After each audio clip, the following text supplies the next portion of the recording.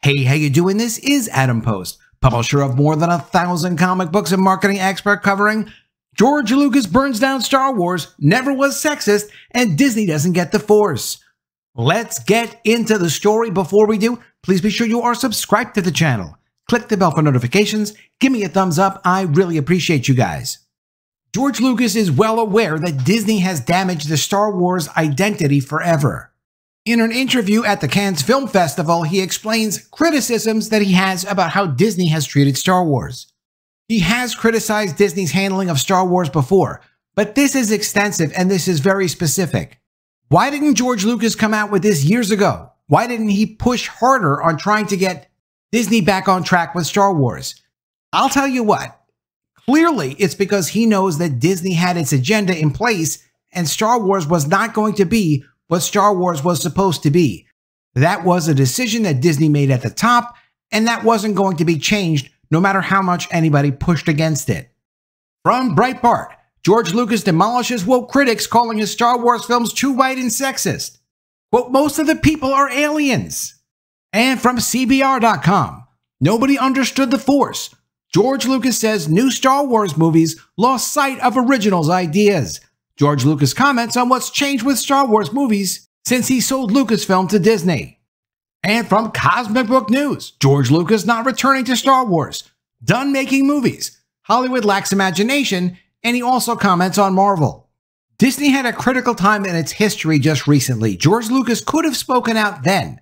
He decided not to. He decided to back Disney CEO Bob Iger, even though, as he says in his own words, Disney doesn't really even understand the Force.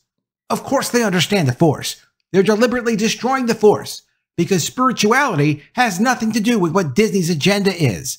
Spirituality is the opposite of Disney's agenda. From CNBC, George Lucas backs Disney CEO Bob Iger in proxy fight with Nelson Peltz. Filmmaker and Hollywood legend George Lucas is endorsing Walt Disney CEO Bob Iger in the bitter proxy battle launched by activist investor Nelson Peltz. George Lucas is currently the largest individual investor in Disney, according to multiple sources. His support was key to Disney because of his shareholder status and his standing in Hollywood.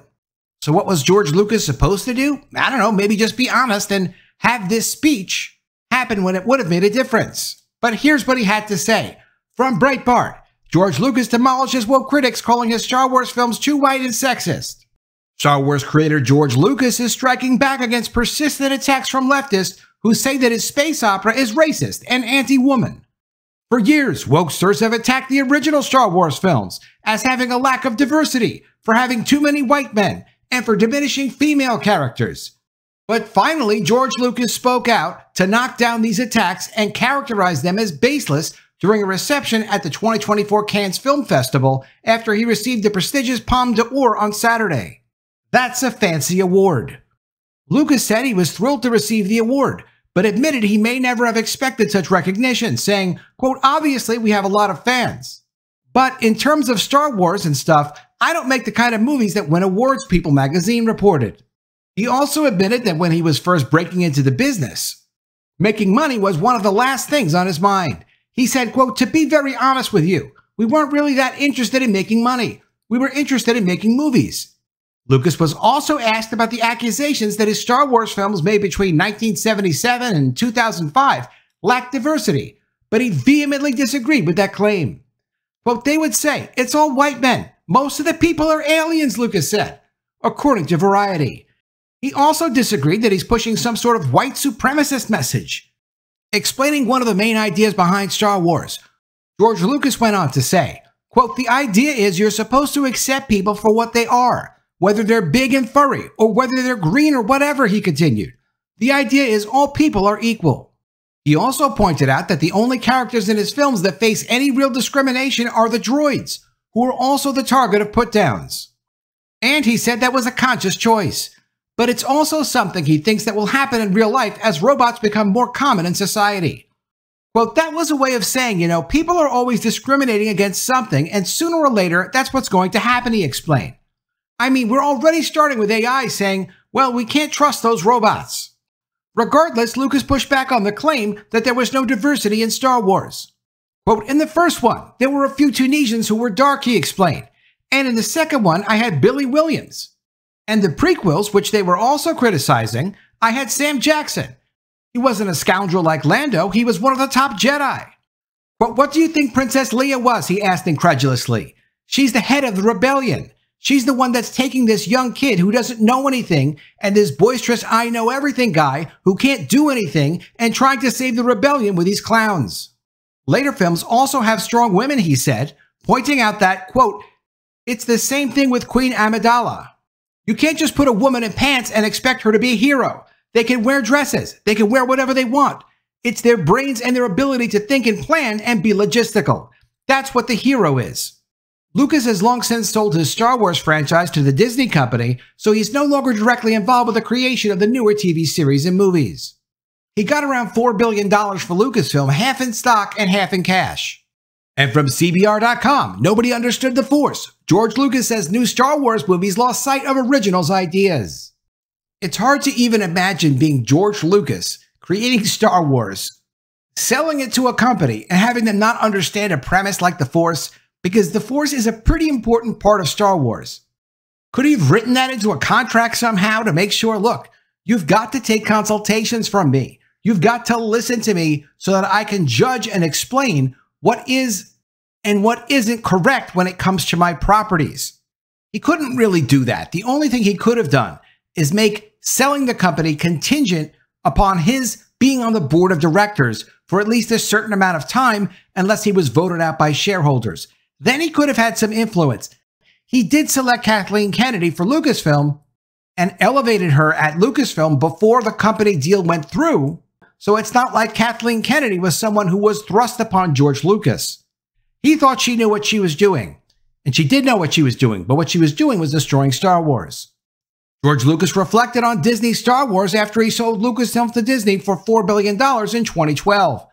Over the past decade, both fans and Lucas himself have expressed mixed reactions to the direction Disney has taken with the beloved galaxy far, far away. Lucas recently opened up about his feelings towards the Star Wars sequels and spin offs produced under Disney's leadership in an interview with The Hollywood Reporter. Quote, I was the one who really knew what Star Wars was, who actually knew this world, because there's a lot to it. The Force, for example. Nobody understood the Force, Lucas commented. He feels that essential elements of his original trilogy have been lost in translation. And of course they have. But it's not that they've been lost, they've been killed. And he knows that. He's just trying to be as polite as he can. But at this point, he's a multi billionaire, he's 80 years old. He may as well tell the truth. Or at least the closest thing he can do to telling the truth, and that's what he's doing. George Lucas frequently visits sets and provides consultation to filmmakers, maintaining a presence in the ongoing expansion of his creation. Lucas worked as a creative consultant on the Star Wars sequel trilogy's first film, The Force Awakens, and visited the set of Star Wars Andor. The Star Wars creator was also noted as a fan of Rogue One. A central theme in Star Wars is the concept of balancing the Force, an idea Lucas has discussed extensively. The Force is the lifeblood of the Star Wars universe, connecting every being. Misunderstandings about what it means to balance the Force have proliferated, especially with interpretations suggesting a balance between the light and dark sides akin to yin and yang. Lucas refutes this notion. In a 2010 meeting with the writers of Star Wars The Clone Wars, he explained that the dark side is an unnatural distortion of the Force. Quote, what happens when you go to the dark side is it goes out of balance, and then you get really selfish. When you get selfish, you get stuff. Or you want stuff, and when you want stuff and you get stuff, then you get afraid somebody's going to take it away from you. Once you become afraid that someone is going to take it away from you or you're going to lose it, then you start to become angry. And that anger leads to hate. And hate leads to suffering, Lucas elaborated. So this is a whole life philosophy, obviously, that Lucas has that Disney decided, yeah, that doesn't promote anything that we want to promote. So we're going to kill spirituality.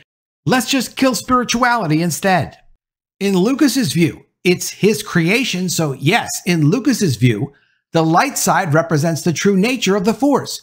The dark side is a corruption brought on by selfishness and greed. He emphasized that the pursuit of these vices is fleeting and ultimately destructive. This concept was further explored in the Clone Wars. It becomes clear that balance in the Force is not about equalizing the number of light side and dark side users in the galaxy.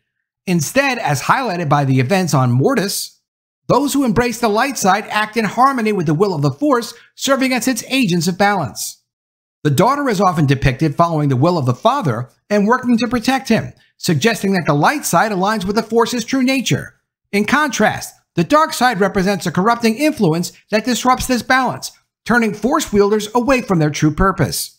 And from The Hollywood Reporter, George Lucas says ideas in the original sort of got lost in post Disney Star Wars films which should be an incredible insult to Disney.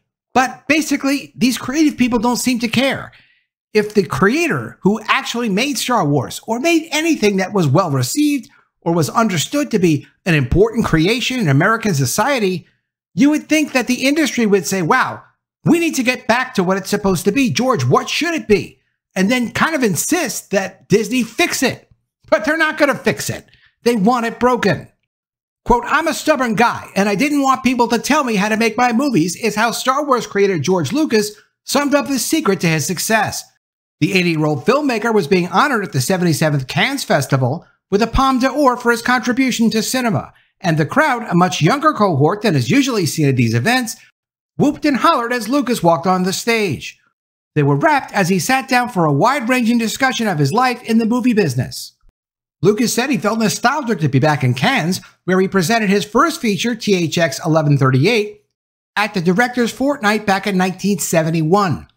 His THX 1138 co writer and sound designer, Walter Murch, was in the audience as Lucas recalled how Warner Brothers didn't want to send the duo to France for the premiere, forcing them to scrape together the money themselves.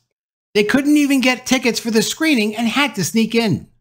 But, quote, we weren't really that interested in making money. We were interested in making movies, said Lucas, speaking about his early career. He outlined how he fought to get American Graffiti made for just $750,000. Starting in just a few theaters, American Graffiti went on to earn $115 million at the box office. Lucas's deal included back-end residuals off the net gross of the film, which typically meant no money. Because they would keep adding stuff to the budget so it never got paid off, net was almost like fool's gold, the director said. But American Graffiti was making so much money so fast, he actually made a lot of money off it. It was the first time anybody had ever made money on net profits. That's Hollywood accounting for you, but George Lucas was making the money. The film also caught the eye of Alan Ladd Jr., who approached Lucas after a screening and said, the director recalled, you got any other movies? And I said, Well, I've got this sort of science fiction, fantasy, crazy 1930s style movie with dogs driving spaceships. And Alan Ladd said, I'll do it. I'll do whatever you want. And he hired me, and the rest is kind of history.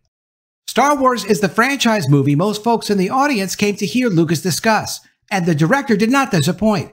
He talked about securing licensing and merchandising rights for the first film, something unheard of at the time.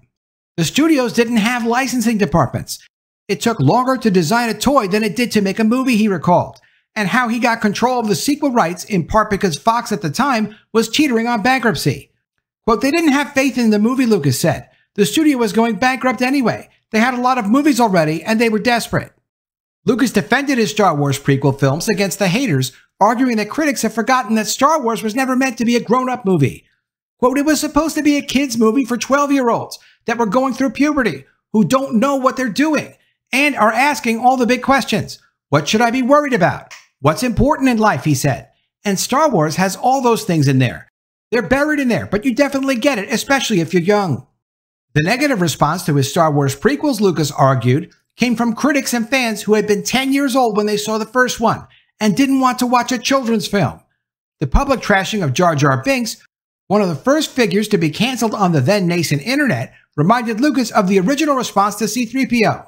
Quote, everybody said the same thing about 3PO, that he was irritating and we should get rid of him, said Lucas. When I did the third one, it was the Ewoks. Those are little teddy bears. This is a kid's movie. We don't want to see a kid's movie. Lucas said it is a kid's movie. It's always been a kid's movie. Lucas also defended his decision to go back and clean up his original trilogy using new digital technology to make the film look the way he always wanted it to. Quote, I'm a firm believer that the director or the writer or the filmmaker should have a right to have his movie be the way he wants it. Quote, we did release the original one on Laserdisc and everybody got really mad. They said, quote, it looks terrible. And I said, yeah, I know it did, said Lucas. That's what it looked like. Discussing the Star Wars sequels made after he sold Lucasfilm to Disney in 2012, Lucas said the new corporate bosses got a lot wrong. Quote, I was the one who really knew what Star Wars was, who actually knew this world, because there's a lot to it. The Force, for example. Nobody understood the Force, he said. When they started other ones after I sold the company, a lot of the ideas that were in the original sort of got lost. But that's the way it is. You give it up, you give it up. George Lucas knows the same thing as a lot of Star Wars fans. If you watch the original movies and you love the original movies and you wanted to follow Luke Skywalker and understand what his journey was, that's what made Star Wars special. The new version of Star Wars is there to replace Luke Skywalker. It's there to replace the original ideas behind Star Wars. That's not the best way to make money. That's not the best way to make good stories. And it's definitely not the best way to make good movies. But that's what Disney is focused on. They don't want the past. They want Disney's future. And that's why most of us don't want anything to do with the new Star Wars. Let me know what you think of all this in the comments below. Always love to see your ideas. Please be sure you are subscribed to the channel. Click the bell for notifications, give me a thumbs up, and I'll see you again soon with another story. And if I don't see you, I will miss you.